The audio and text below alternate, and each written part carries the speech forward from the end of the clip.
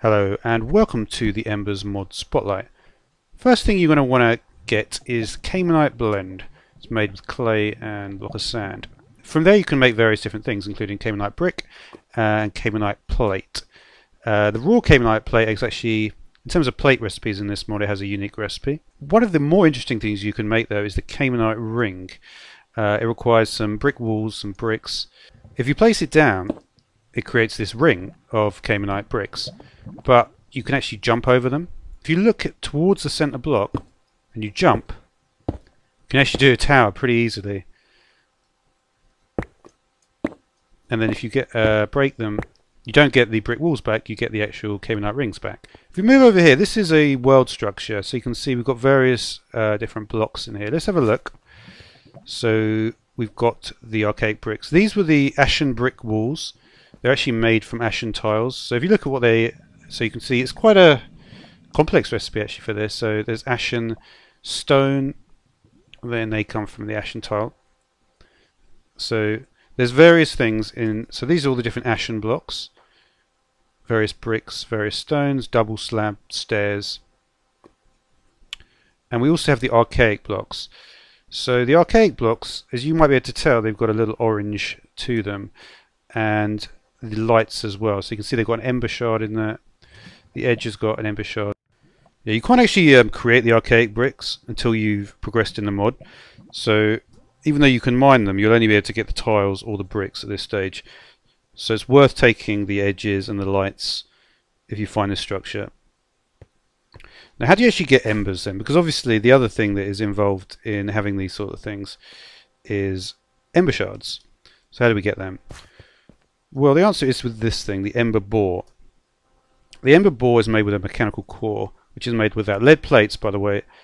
Um, you need the Tinker's hammer, uh, and it can create various different plates, including you may also notice there's actually bronze and there's also electrum as well. One of the ways to actually look for ember is with the atmospheric gauge. So once you make that, you can see it doesn't necessarily matter too much as long as you have a decent, like some ember in there, which which is equates to the gauge being a little bit full up, then it's fine. What you need to do is you need to place the ember bore down close to bedrock. So this will let the the bore um, mine the ember from from bedrock. If we look at how we might want to place it, if we place it down, we have to place it on the top or bottom face. And you can see it's got some interesting qualities to it. So what we generally want to have, and you can see that all the blocks are sort of see-through, is that in this level here, we want the blades to be touching bedrock, so the bottom of, bottom of the blades touching bedrock. And that's all there is really to it. And you'll notice that here we have the... This is the spot for the input and the output. So when we put a mechanical core in there, it will be able to both input and output items. So if we look at the one in actual operation, we have a hopper, and what this hopper is doing is it's feeding coal to power the bore it goes in. And then we have a few things here. We have a redstone powered item extractor going to a pipe. And this is going into the chest, which is what the yield is. So we've got ember crystals, ember grit, and ember shards. And these recipes are fairly uh, straightforward as well. Okay, let's begin by talking about some of the basic stuff. One of the first things you may want to do is this thing. You may have just seen there, the Tinker's Lens. Pretty simple recipe.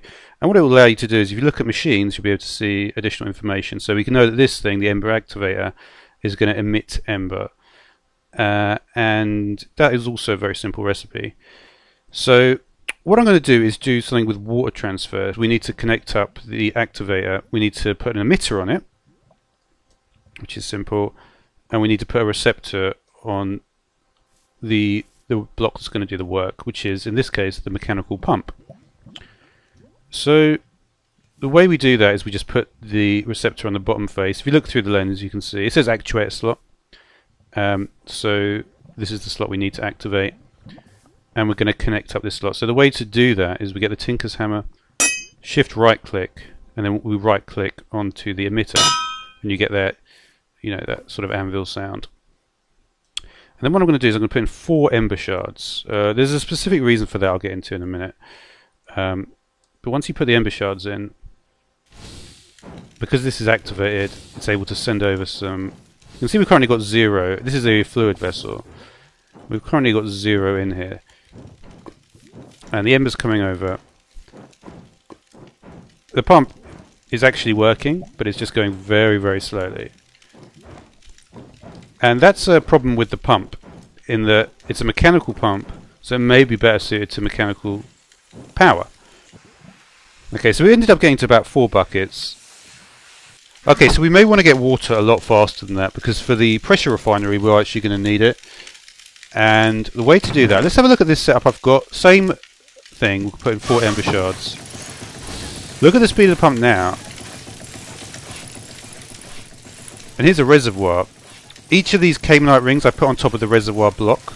So the reservoir block is made like this with a fluid vessel. Um, each one takes 40 buckets of the rings.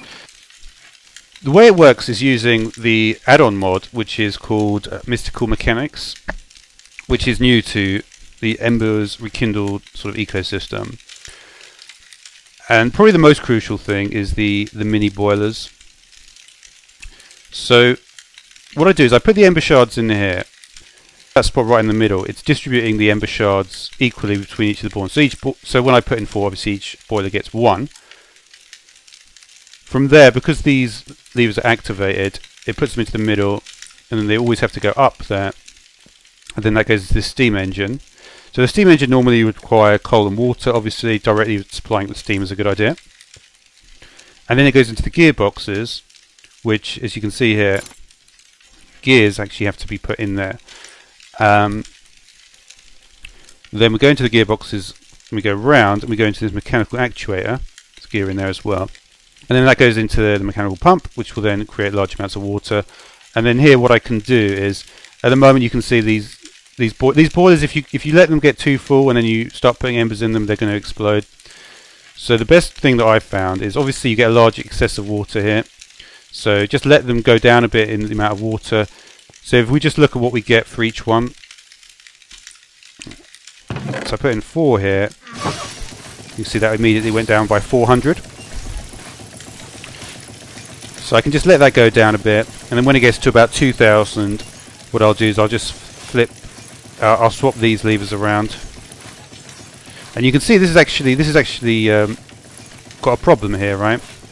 And it does show you the problem. And you can see that this tank is filling up. And obviously, I'm generating so much water at the moment that it's not going to. I'm not going to have enough room for it. So the way to deal with that, just take a few more Caminite rings. You can see it's auto filling, and that should be enough. Yeah, I'm sure it will be. And like I say, it generates a lot of water. So then I can just do the shards. Put those in again. You can see there should be no more errors now. Everything should be draining.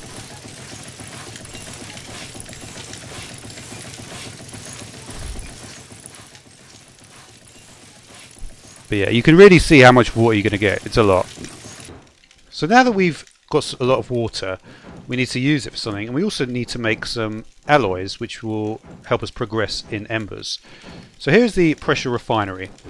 So this block, if you put a, a metal block underneath it and eight lava source blocks around it, it will get three times the yield from the embers that you provide it by the side here. And it also needs obviously water. So let's uh, use this first block, which is the melter. So this is going to melt down any ingots or ores into their molten forms. Put a couple in there like that. And you can see that it's going to go through this tube, and then we have a fluid transfer with a copper filter. So you just right click a copper bu bucket on it. It doesn't consume the bucket. And what we'll end up with is one ingot of copper, and then at this point the gold will not obviously not want to go this way, and it will go here instead. And then I can transfer those two over like that that go in? Yeah. Okay. So, at this point what I could do is I could turn on this lever and we go round here into the stamper and I have a, a mould in here for a bar which would turn it into an ingot essentially. But what I want to do obviously is make the dawnstone. So, what I'm going to do is I'm going to activate. So this is currently off from the extracting into the stamper. Okay, so I'll turn this on and this on. It does it very quickly, actually. So that's already mixed it down into molten two two uh, 288 millibuckets of molten dawnstone. So now when I turn this on, one, two, and then in this bin underneath, it actually has a nice animation. So if you right click the bin, you can see I can get those two ingots of dawnstone. So if we're going to get into embers more, we need to get more of a grip on the numbers. So here I have uh, an ember dial. So this will show how much ember is actually in it. So we're going to put use this ender. We're going to use this. So we're going to use this ember activator, and you can see it's going to get 400. And I'm putting into this copper cell, which is used to store embers. It can go a little bit lower, so it might end up on 390. Um, but yeah, I've I've when I've put in multiple, there's not much loss, but it's it's normally about 400 ember per ember shard. Now we go back to the pressure refinery. I'll just put some water in uh, manually. Um, I've got a production multiplier of three times, and that's actually dependent. You need the, the eight lava source, but you also need to make sure you have an electrum block underneath. So a different type of block will have will yield a different production multiplier. Three, as I mentioned before, is the highest, so you're going to want an electrum block there.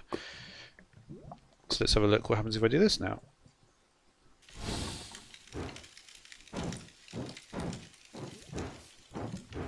Okay, so we got 400 from the other one. And from this one we got 1200 as you might expect. Okay, one of the things you can do with Dawnstone is make some Dawnstone tools. Uh, you can make the pickaxe, the clockwork pickaxe, the clockwork battle axe, and also the grand hammer. And if you look at the enchantments, you can see that you can put both tool and weapon enchants on these items. And also, look at the attack, they're significantly more powerful than diamond. And that's not all. There's actually more you can do with them. Here I have a copper charger, and in the copper charger is this, a mantle jar. So these, this is an item which you can place anywhere in your inventory.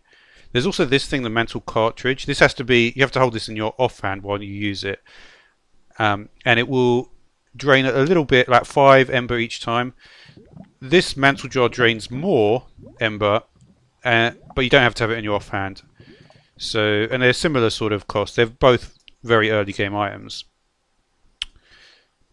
And, and in fact, the copper charge is also early game. So you could do this before Dawnstone, but obviously, all the items that actually use Ember will require these Dawnstone tools. So that's why I showed it here. Let's have a look and see what we can do then. So the pickaxe.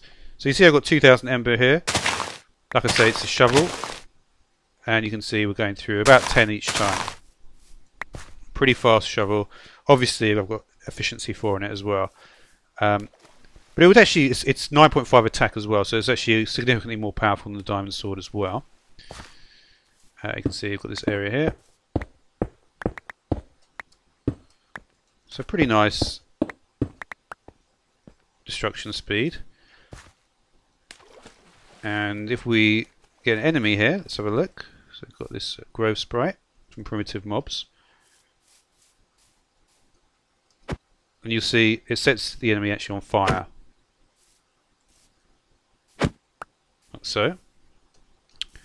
Okay, here we have the Clockwork Battle Axe. So this obviously works like an axe. Let's have a look, see how it does here.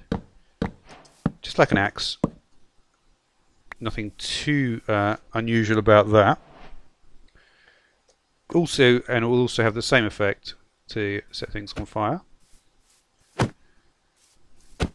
little bit more ferociously. But the most ferocious is this, the Grand Hammer. So the Grand Hammer actually destroys blocks. And you'll notice there's no drops. So it will it will destroy all blocks without dropping anything.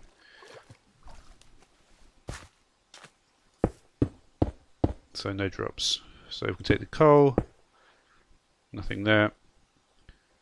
And similarly, destroy. So there's another two weapons that we have here. So for instance, the blazing ray is a bit like a uh, a gun. So you can see it has a beam of fire.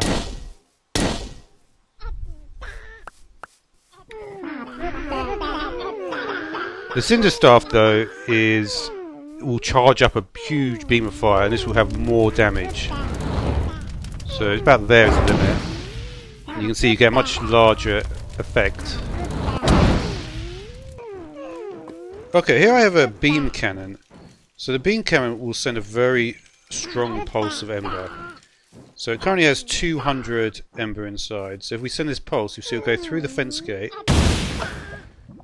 and destroy everything. See, we've got the ember relay. So you can see, I can just relay ember around. So I'm going to the copper cell. Um, the thing about copper cell, though, is not really the the one you want to use. This is the block you need. Uh, this is the crystal cell. It's a much larger block. The way you power this block is is like it's like anything. For instance, I can pipe items directly into here, into the mechanical core. But obviously, if you want to connect it to an ember source, you do need a machine accessor. So if I pipe items in here, so you can see, let's just put in a stack of crystals. You can see what happens to the crystal. You can see that the internal storage is getting massively buffed. So you can store quite a lot in here. So there's a stack. You can actually go further than that as well.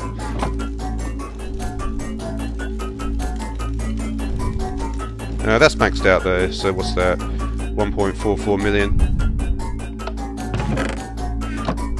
And then the cool thing is you can go in and you get a really nice particle effect as well. This is uh, the beam splitter that will split beams. So you put it into the inputs of these sides and the outputs of these sides.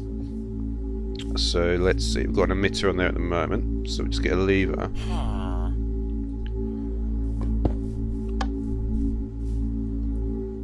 And we'll connect up one of these copper sides.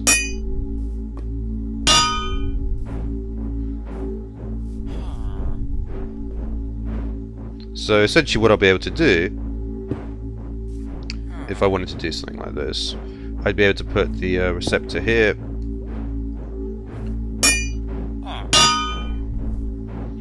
And I'd be able to distribute to to two different sources from it. So obviously that way I can make more you know, this is this is the only way I believe to split up the ember into multiple sources like this. Okay, so here's the the beam cannon. You can see it's gradually getting power. And when I put a lever on it, it's going to shoot a, a bolt. It's going to use up about 400. And you can see it's using up a decent amount of power. So to get to 400 takes a while. If we then put an ejector on it, let's have a look at that.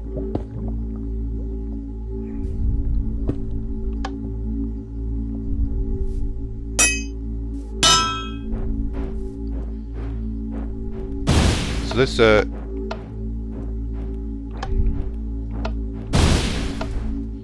So you can see it's definitely filling up faster, but what's actually happening is some of the ember is flying off into the distance. So you can see it's, it's filling up faster, so we could shoot more more regularly, but not that regularly. And that's only because the so the output from the is much higher, right? So you need to pair up to the receptor, which is higher. And that's this guy, the Ember Funnel. So let's shoot. And you can see it's already... So I can literally shoot it constantly.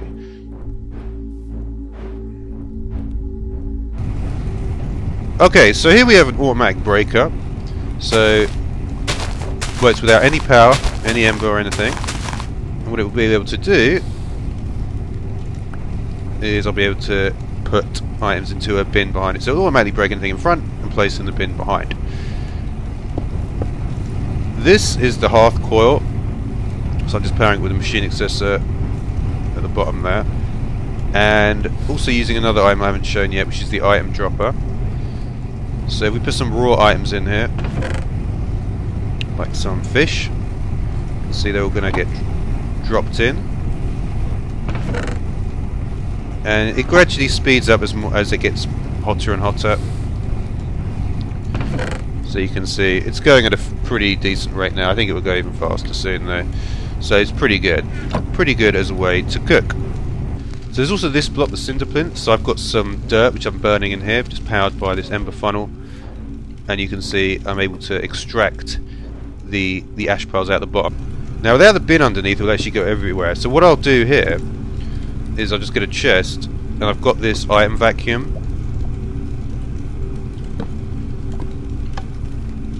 And so what I'll be able to do is just burn as many items as I want. Just right click into them. It will convert them to ash piles and the item vacuum will be able to vacuum all those items up. There's also this thing I've equipped, the Ashen Amulet, which is a pretty easy to make, to make with an ash pile. I also put the Dawnstone Mail in there, which goes in the body slot of the baubles. Uh, and then what happens, so I've got currently got an empty inventory, and we actually get ash from killing enemies, which is pretty cool. Okay, so the main thing that we want to do now is alchemy. To do alchemy you need this, the exchange tablet, and you also need to have these alchemy pedestals, which can be fed with ash piles. Atop the pedestals you need to have aspectus, or whatever the plural that might be. And the way you get that is you put in a stamper and ember shard with some molten metal, and you'll get the aspectus for that metal. So you do it all the various different metals. So here we have dawnstone, copper, lead, silver, and iron, and then you can begin to do things. So the first thing I want to make is the ember crystal cluster because it's a very important crafting ingredient for a lot of recipes. And to do that we're going to need three shard, ember shards, gunpowder, ember crystal, and then we're also going to need some dawnstone and some copper. Now it says 24 to 48, so the way you want to do this is is you, is at the end of the the actual creation of this item. If it fails, it will tell you how much you're off by. So what you want to go for is the lower bound. So I want to put in 24 of each. Of each the Dawnstone and the copper. Um, I've I've conveniently placed these in a way that I can route them quite easily. So I'll put 24 in each of, the, of them here, right?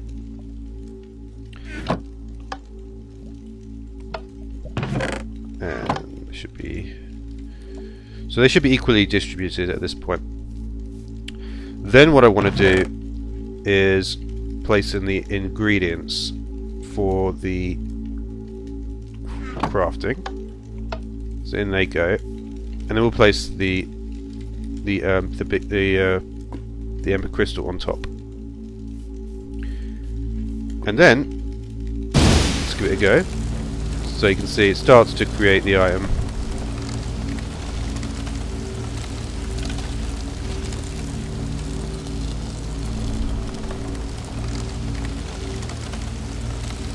And if, this process starts, it means that the recipe...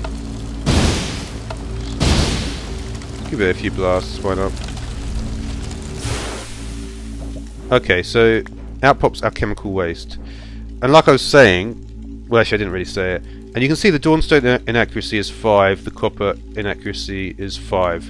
And I put in 24 of each into each of these two. So we know the, the, the, the answer is going to be 29 of each. Right, so we'll put in the stuff. And we'll put in these items. And we'll place our final Ember Crystal in here.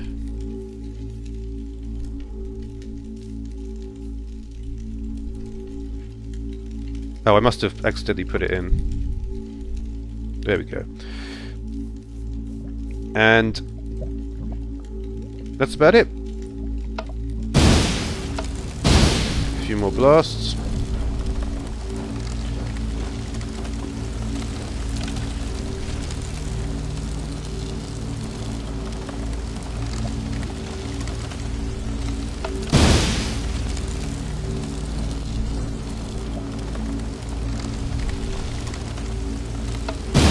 Like blasting it.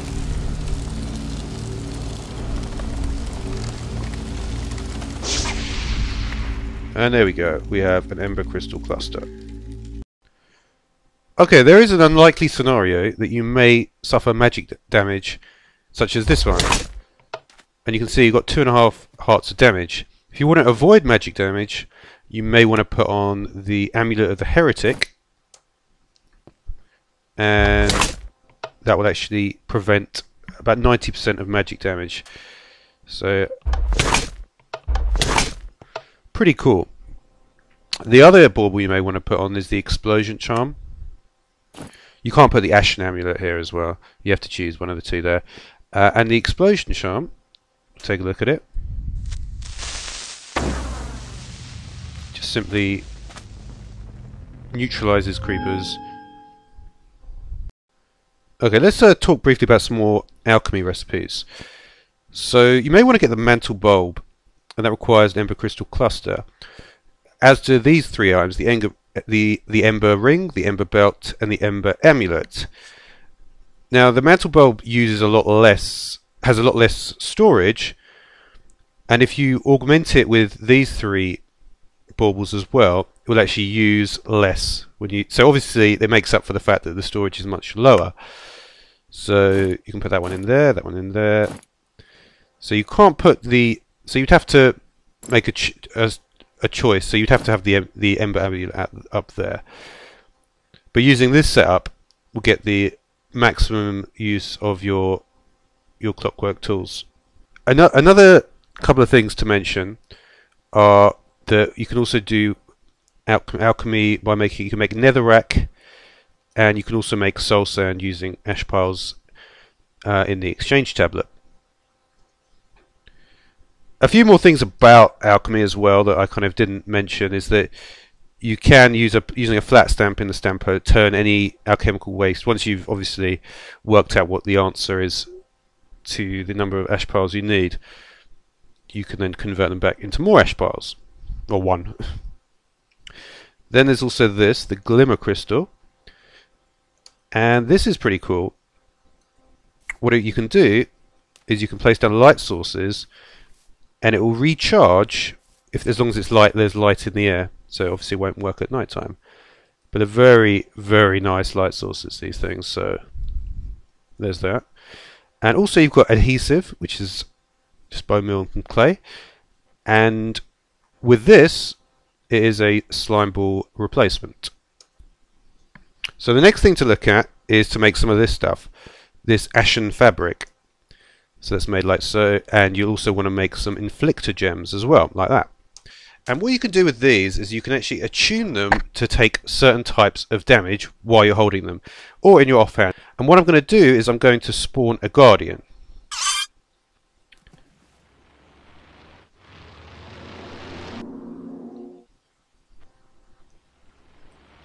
Okay, so we'll take a look at the inflictor gem. And the guardian, as soon as he attacks, we get indirect magic. Okay, so indirect magic, and I also I also got the regular magic as well. That was I got that from the uh, fangs, the evoker fangs, but you can also get it from potion, in, uh, from poison and instant damage as well, potions, and then the cactus damage. So essentially, all you have to do is try to take the certain type of damage, and then you can put it on the inflictor gems. You can take take like drowning damage, for instance. So fairly unusual in the in terms of what you could normally do in modded. Just be able to do that because you can actually do something with that. And what you can do is you can make armor. Using this ashen fabric, which is made like this, you can make all the different pieces of armor.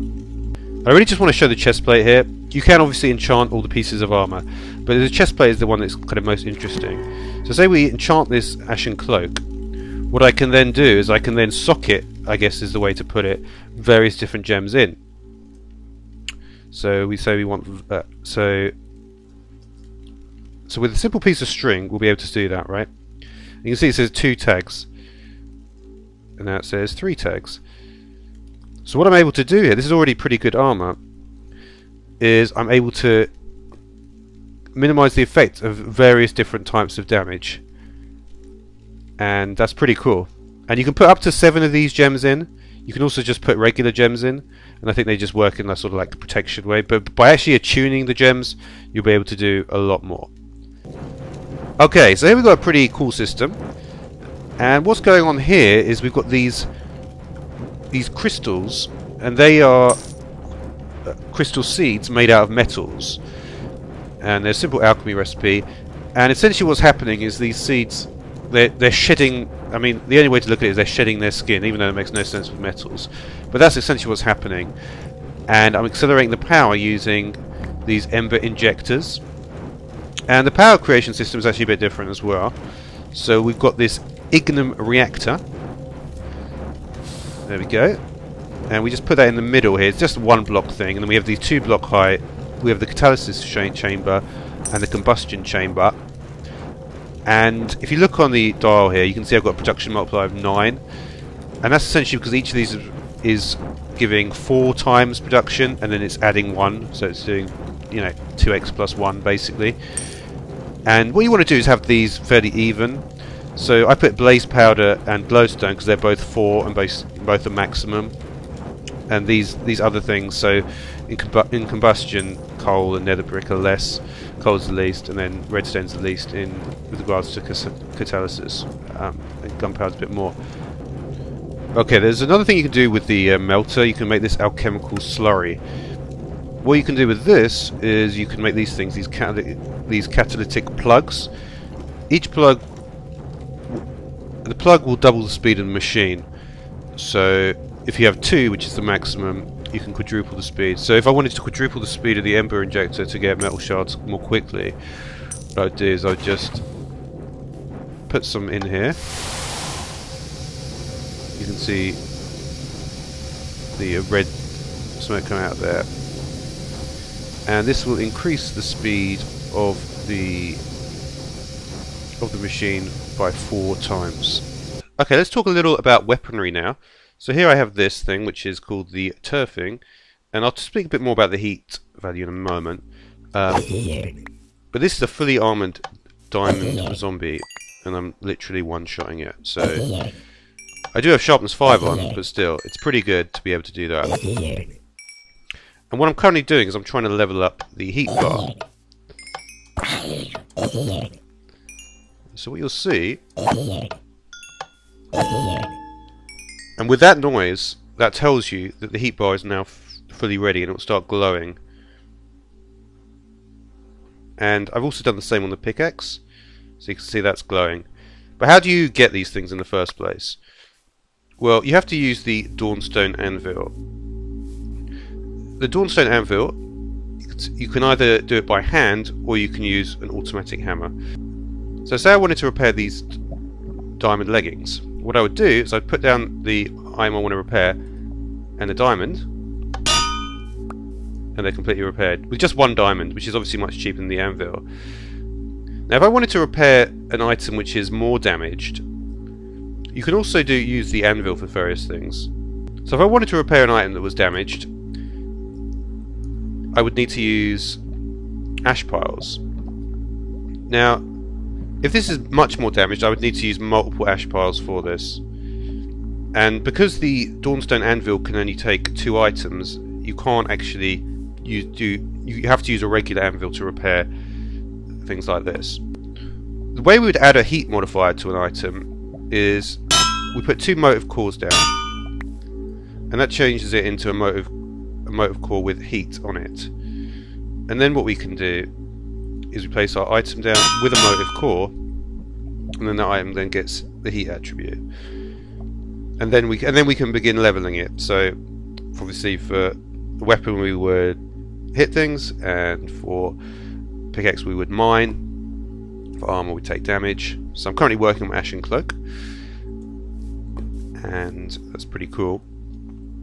So here we have the Inferno Forge. Just power with embers from the bottom so what we do with the Inferno Forge, we have to unlock slots so that we can put items in there. And the only way to do that is by getting your heat bar to full, so you can level up. So obviously I've got a couple of items where that is the case. So we need to drop a certain amount of ember. I'm going to say 32. I'm not sure the exact number here. But that put it this way, that will be enough. So we'll drop 32 embers in there. And then we've got our pickaxe ready to level up. So then we'll close the hatch. see the machine will start working.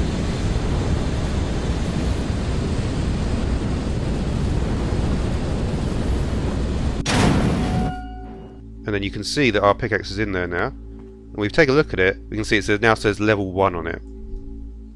And similarly we can do the same for our Tyrfing. Throw that in. Okay, I'm going to put two full stacks for the Tyrfing because it seems to be not that easy to level this one up.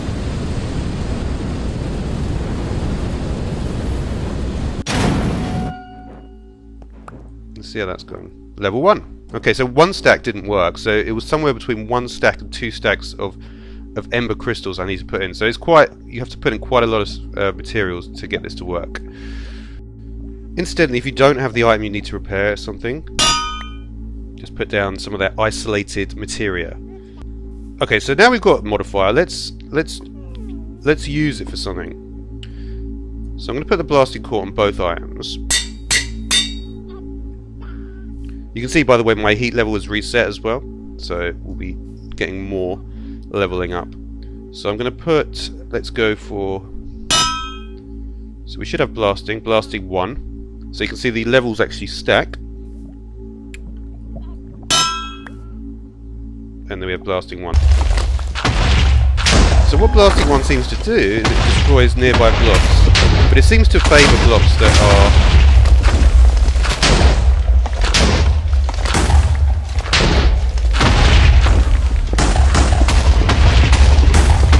I think it favours softer blocks,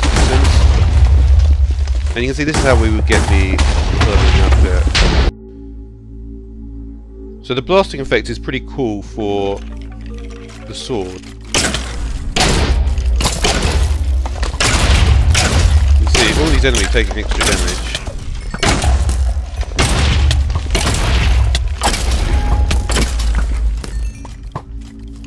Really, really wreck some of these enemies.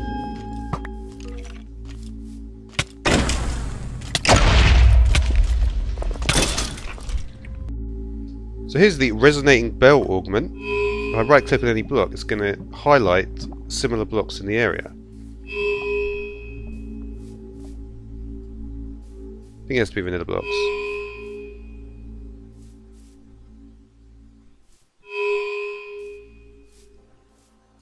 Try with this mushroom block. So you can see the effect of that. A couple more now. So here we have a pig. And you can see, got cooked pork chop. And that's because the, the superheater will cook the food of any mob you attack and also it will do additional damage. Now here we have the uh, this is ember casting, so this is from the caster orb. Each time you use it, as long as you've obviously got enough ember in your inventory, it will shoot. It will shoot a, a ray of ember. Also, it will because it's a projectile. You'll also now be able to add additional projectile augments, which are from which are mainly used obviously for things that do projectiles anyway. Okay, so we need to repair the armor. You need to put ashen fabric for the cloak. And you can see, because you can only place two items on the Dawnstone Anvil, this is why you have to do it this way. By the way, if you want to get rid of something on it, so if you want to get rid of this from the pickaxe, just put it on its own and it will detach. So what I'd like to do this time is with the armor, I've got an item called the Cinder Jet.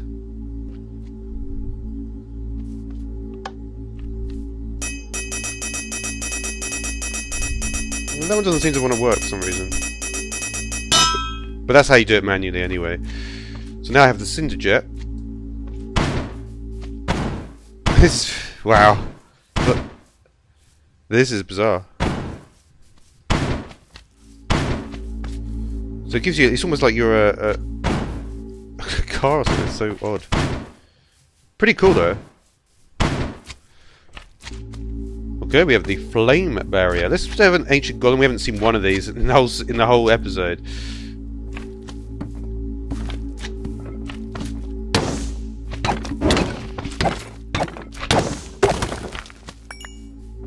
Okay, they're obviously how you get the archaic bricks. Didn't seem to work too well on that.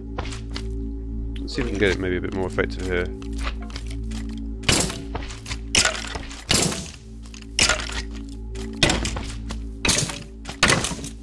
You can sort of see it. I imagine as, uh, these these modifiers do increase the level.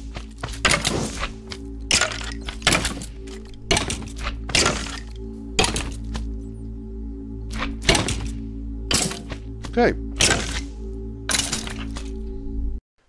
Okay, so like I've mentioned, there's various things you can do with your armor, your tools, your weapons. The uh, the blazing ray that will become like a shotgun as well. There's some projectile augments, and you can put the projectile augments on on weapons as long as you have the initial one that we saw there. Um, and you, and you and, and, and you can put your and you can put the projectile augments on tools as well. Obviously, level two or above. So it's just so the final few things. One is this metallurgic dust. This is actually the hardest thing to make in the in alchemy because you need to use all of them. So that's fun. But what you can do with this, and what this will actually do, so obviously this was a this was a, a, whole vein of coal, and now it's a whole vein, vein of redstone. Now some emeralds there. Now it's gold. This stuff is cool. Sometimes it turns it just into. That's pretty awesome though. So definitely worth getting some of this stuff. So there's also the Dawnstone gear. Remember that. So I believe you can place that instead of the iron gear. Hmm. wonder what this says when you do that. Interesting that the Dawnstone gear is actually from Embers. I, I, think you can still put it in the gears for Mystical Mechanics. Uh, there's also Creative Mechanical Source from Mystical Mechanics. And the final thing, perhaps, to look at is this. This is the field chart. This shows you, it requires no power, but it will show you the ember concentration in the area. So we can see, I happen to just teleport randomly here, and you can see in this area there's a huge amount. So if I take my gauge, you can see this is much higher. And you can see as I go this way, it becomes almost at the maximum. In fact, it may.